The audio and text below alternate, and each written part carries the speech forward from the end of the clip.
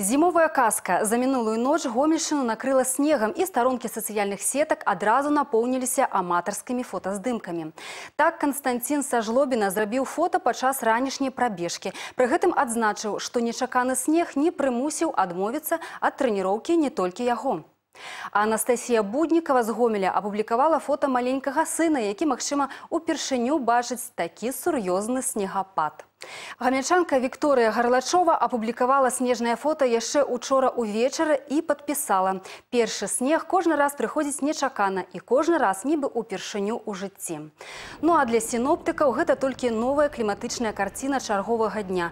На сённяшнюю раніцу максімальную вышыню снегу ў рэгіёне зафіксавалі ў Гомелі і ў Васілевічах, дзе гэты паказчык аказаўся вышэйшы за сярэднесутачны ўдвая.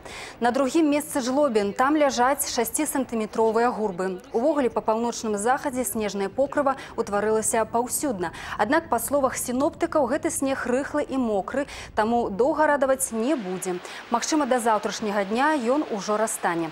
Пры гэтым у абласным гідраметэацэнтры адзначылі, што перыядычныя ападкі ў выглядзе мокрага снегу будуць ісці ўвесь тыдзень. Устойлівае снежнае покрыва, як правіла, з'яўляецца толькі да сярэдзіны снежня.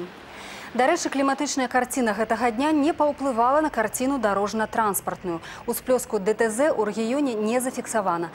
Напрыклад, раніцай у абласным цэнтры зарэгістравана толькі 5 дробных здарэнняў. Сярод іх удзельнікаў хтосьці не паспеў перабыць жалезнага каня, а хтосьці яшчэ проста не прывык да снежнай дарогі. А вось камунальныя службы былі на пагатове. У абласным цэнтры на ўборку снегу спецтэхніка выйшла яшчэ учора ўвечары і працягвае працаваць.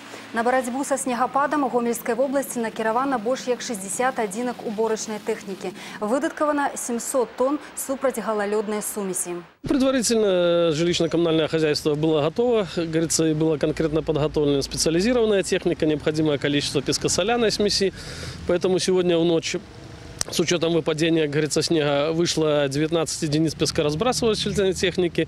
Соответственно, тот необходимый объем пескосоляной смеси, который был предварительно к сезону заготовлен, его в полной мере хватит на сезон. Поэтому опасений каких-то и, будем говорить, в то, что завтра будет больше снега и жилищно-коммунальное хозяйство не справится с поставленной задачей, я думаю, не настораживает.